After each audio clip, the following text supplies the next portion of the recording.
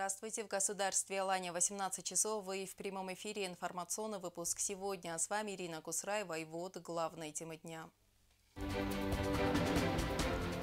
Сегодняшние сообщения о минировании образовательных учреждений оказались ложными. Комментарий Комитета госбезопасности.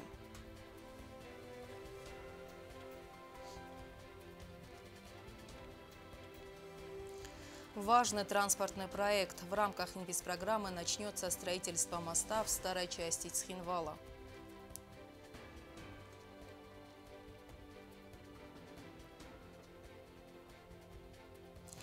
На ГТР «Каир» стартовал вокальный телевизионный конкурс «Зарак». В кастинге примут участие исполнители со всей Осетии.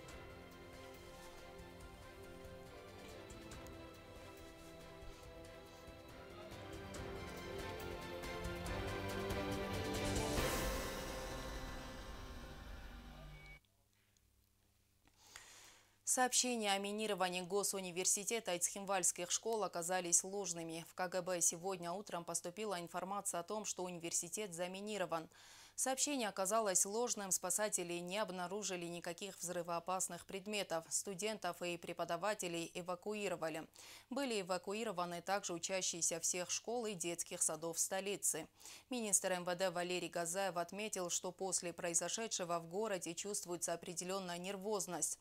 Однако он призвал жителей к выдержке и спокойствию, отметив, что уровень террористической угрозы не настолько высок, как этого испугались люди. Сегодня утром на электронный адрес Югостинского госуниверситета поступило анонимное сообщение о минировании учебных заведений в городе Схинвал. Сотрудники правоохранительных органов и МЧС незамедлительно эвакуировали студентов и преподавателей. Также было принято решение эвакуировать все школы и детские сады. Здания учебных заведений и прилегающие территории были оцеплены. Специалисты провели саперную разведку указанных объектов. Информация о наличии взрывоопасных предметов не подтвердилась. Угроз нет, сообщает Комитет госбезопасности. Также сформирован межведомственный оперативный штаб, куда вошли руководители всех силовых структур. В настоящее время силовые структуры Южной Осетии продолжают локализацию возможной террористической угрозы. Призываем жителей республики сохранять спокойствие и соблюдать необходимые меры личной безопасности. В ходе проводимых правоохранительными органами оперативно-розыскных мероприятий установлено, что сообщения о минировании направлены с одного из интернет-ресурсов, расположенных за пределами Республики Южная Осетия, предположительно на территории Украины, и по ряду признаков идентичны аналогичной корреспонденции в течение последнего месяца рассылавшейся в учебные заведения города Владикавказа. В настоящее время силовые структуры Южной Осетии продолжают мероприятия на предотвращение возможной террористической угрозы. Силовые структуры призвали жителей республики сохранять спокойствие и соблюдать необходимые меры личной безопасности. Лена Газаева, Азамат Кудзыев, информационный выпуск сегодня. Во Владикавказе состоялось седьмое заседание совместно Юго-Осетино-Российской демаркационной комиссии. Комиссия обсудила ход международно-правового оформления государственной границы между Республикой Южная Осетия и Российской Федерацией, рассмотрела и приняла план работ на 2023 год. Встреча прошла в духе открытого диалога и взаимопонимания. Сроки и место проведения очередного заседания комиссии будут согласованы по дипломатическим каналам, говорится на сайте Югостинского внешнеполитического ведомства. Масштабный проект в Цхинвале начнется строительство моста. По заключениям российских специалистов, старый мост в исторической части Цхинвала непригоден для использования. На заседании Кабмина председатель правительства Константин Джусоев сообщил, что в ближайшее время мост закроют для передвижения и начнется возведение переправы. Стелла Бязрова расскажет подробности. Работы по реконструкции старого моста в Цхинвале должны были начаться еще в 2021 году. Строительные мероприятия внесены в инвестиционную программу, однако работы были приостановлены еще даже не начавшись. Причина – вызванный общественный резонанс. Старый мост разделил жителей на два лагеря. Одни утверждают, что мост необходимо оставить, так как он относится к объектам культурного наследия. Другие, что старую конструкцию необходимо снести как можно скорее из-за его аварийности. Долгое время велись жаркие дискуссии о судьбе Старого моста. С участием общественности, архитекторов, строителей и властей республики проходили круглые столы. В социальных сетях эта тема также поднималась не раз. Между тем, специальная экспертная комиссия из России подтвердила, что Старый мост не соответствует требованиям безопасности и нуждается в реконструкции. Была экспертиза. Вот. Две экспертизы, независимые эксперты с Российской Федерации. Они приезжали, Э, Э, взяли все, что можно было там изучить, изучили и вынесли решение, что мост надо перекрыть и, э, в общем, разобрать.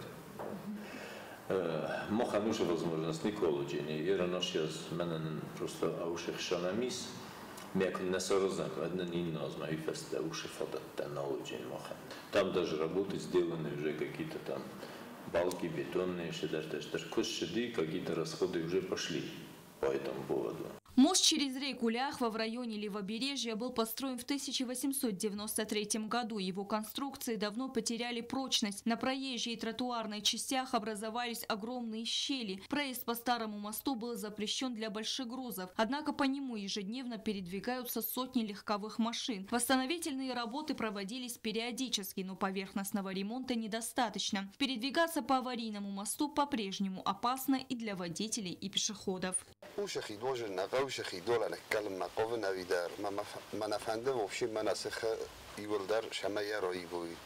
یا زرود فرمایدر چخ زد کدو دیافت فلف سویدار کنت مل ماشینا تا در راشو باشو کنه مل آدم در راشو باشو کنه کدم بل افته بیره تا جورنش من عجبه خوب پیشی خوب نیگه سارا زود یا بنه لی چی و دی سوشش در تا چی جوره وی ما باشد یا بنه ما بنیه ولی ما از کسر. میفینت کدستی که دسته تا کد زننج. ما ابو سوما ترنك كالدين وشخيد درجه قو شخيد في خلانو يتخمج منم بخي چیز درو ما يا يقخ شاير بستي ما لا بس لا بوتا كنا وداي كويت ما خان قدي شخينا انا من قلدي ما جي يقخ سفلت تودست ما قازي قازي فشايش دست فجي يقخ راير بستي Теперь принято окончательное решение. В ближайшее время мост перекроют и начнутся строительные работы. Заключен договор с подрядной организацией. Финансовые средства выделены. На месте старого будет построен новый, современный и расширенный мостовой переход. Требования жителей города также учтены. Новый мост сохранит исторический вид. Мост предусмотрен, там двустороннее, полноценное двустороннее движение. Плюс по Дувекеру он увеличивается, где-то будет 8 метров. Э, пешеходные переходы, пешеходные тяжести по, по метру и 6 метров будет само, по самому полотно. То есть это полноценный современный будет э, мостовой переход. Мы продумаем внешний вид тарафта. У нас мы разговаривали с Федором Николаевичем, с подрядчиками. Я думаю, что Елеркуду, Мейнеркуду Вахадагизм. Стиль сохраним просто. Стиль сохраним. Мы сразу Мне приятно было даже по нему просто ходить. У нас экспертиза. Во-вторых, у нас есть, привозили людей, которые его осматривали. И они однозначно, Юрий Режим еще Шахининов того же Потому что, да, может простоять теоретически сто лет.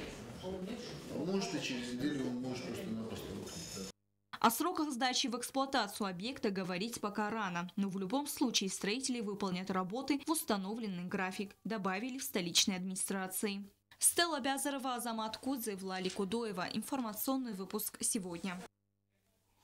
Национальный банк Южной Осетии выпустил памятную монету в честь 90-летнего юбилея Югостинского госуниверситета. Монета выполнена в серебре. Автор дизайна – народный художник Южной Осетии Тамрилан Схавребов. Партия монет уже поступила в Национальный банк и находится в свободной продаже. Монета изготовлена московским монетным двором материал монеты серебро весом 31 грамм. А, эскиз монеты был разработан народным художником Скотребовым Тамерланом. Всего в продажу поступит а, около 100 монет. Желающие могут приобрести монеты в кассе Национального банка. Кроме того, в этом году мы ожидаем поступления еще двух монет. Одна монета была э, заказана по поручению президента. Она посвящена 30-летию принятия акта о провозглашении независимости Республики Южная Осетия. Это серебряная монета, а вторая монета – это золотая монета. На ней изображена знаменитая картина Махарбека Туганова «Нартекофт». Это прямоугольная монета, вес 31 э, грамм, но она будет в ограниченном э, тираже 20 экземпляров. Вопрос о признании Минской независимости Южной Осетии, Абхазии и Крыма не обсуждался на переговорах Владимира Путина и Александра Лукашенко в Сочи, заявил пресс-секретарь президента России. По словам Пескова, вопрос о признании Белоруссии, Южной Осетии, Абхазии и Крыма – это внутреннее дело и суверенное право Белоруссии. Мы ожидаем, что наши белорусские товарищи самостоятельно и для них своевременно примут соответствующие решения. 28 сентября состоялась встреча президента Абхазии Аслана Абжане с президентом Беларуси Александром Лукашенко. В ходе встречи Лукашенко призвал наладить не просто мост дружбы, а очень серьезные отношения, подчеркнув, что его приезд в Абхазию не связан с какой-то особой ситуацией.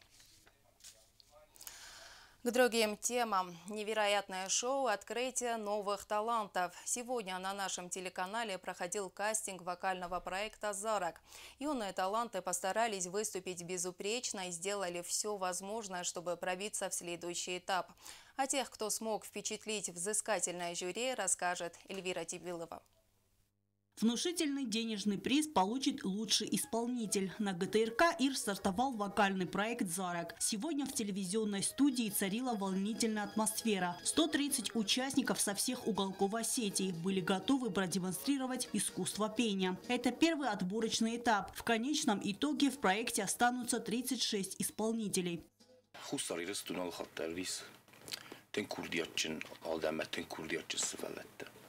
Мабум мене ще propaganda кайшеве, мене ірун зорек. Írunai vadú, mert nem ezért temettünk sem, mert fent, de hogy tartsd, de ezzel is törbúznak. Habunaskodtak, csígyem ezt disz. Televíziói direkcián mene, ha se reszoksz tudja, csider itt terkusz, Gríder, júlader, malaci, alhattár, legezer, de baruszkán is szám, projektei, legalhattár, zerder ruxai szám kesző, se ne híme televízió, de se szám hamderveim bajdajn már. Афанды Заныштырбузник, Тынджабах проекту. В конкурсе, который проводится по заказу Министерства культуры Южной Осетии, принимают участие дети от 8 до 18 лет. Сафил дархой панди мазан Сафил Дархой, сафл дархой ке Сафил Дархой, да борухси ке загна кавируно ивот шара. Шарджинал хоттар ман манам хурс валатти кисл сафарс макар бола э, проект фарши ай гулимбойдинович мухма талант дар кайзагнека ма кайзагнека оштару ҷаба хобун фетчок бунума мазарда тингборус сафил дар зорҷита ирунав потиотикун кайзагнека камдар нафандим бойдой нахи дар рассагов дар самбой қусумбойда мунтокуд сақаласта куд развиваться канин чирунов дар кайзафилдархо ирунов кайзагнека Дети волновались, но каждый из них был настроен на победу. У одних участников слезы радости, другие, наоборот, огорчены, что так и не дотянули до следующего этапа. Здесь на помощь приходят внимательные члены жюри, которые подбадривают тех, кому сегодня не повезло. Как только я услышала новость о том, что проходит отборочный тур, что проходят кастинги, я захотела принять участие, потому что захотелось попробовать себя в сфере оперы, в сфере пения. И я решила пойти с Богом. Хотела принять участие в этом кастинге, потому что посмотреть, как бы я смотрелась с этой стороны. Я танцую, но э, петь я тоже люблю, и попробовать себя с такой стороны тоже хочется. Конкурс ма участие в Андеди Ройсен, Махис Пробканан, Истохоя Чиройсен. Я верю, что смогу. Люба Джоева, Масек. Я слушала именно в ее исполнении, фала Навитова Мария Кудалаева Зорек. Три наставника, три профессионала. Они на протяжении почти трех месяцев будут работать с участниками проекта. В финал выйдут три исполнителя, а вот победителем станет только один. Примерный показ масштабного, интересного и невероятно музыкального шоу Юли Бестаева и Григория Мамева телезрители смогут посмотреть 7 октября. Далее передача «Заряк» будет выходить в эфир еженедельно по пятницам. Эльвира Дебилова, Регина Черткова, Айда Кочева. Информационный выпуск сегодня. Народный артист Южной Осетии, известный музыкант Вадим Харебов назначен директором ансамбля «Мемориал». Нового руководителя коллективу представила министр культуры Рада Загоева. Вадим Харебов – один из основателей легендарной группы «Бонварун». Всю жизнь посвятил музыкальному искусству и воспитал не одно поколение талантливых исполнителей. Вадим Харебов рассказал нашему корреспонденту о планах.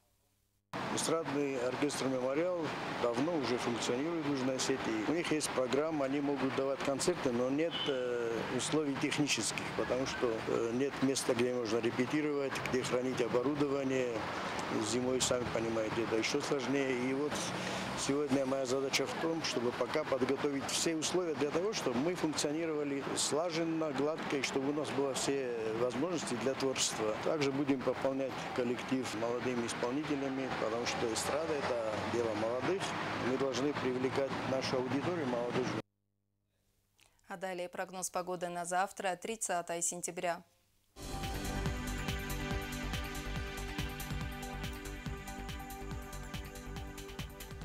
Завтра в республике будет ясная погода. В Знаурском районе днем плюс 27, ночью плюс 14.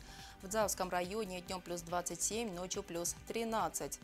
В городе Куайса днем плюс 24, ночью плюс 10. В Ленигорском районе днем плюс 26, ночью плюс 11. В столице республики в Цхинвале днем плюс 28, ночью 14 градусов тепла.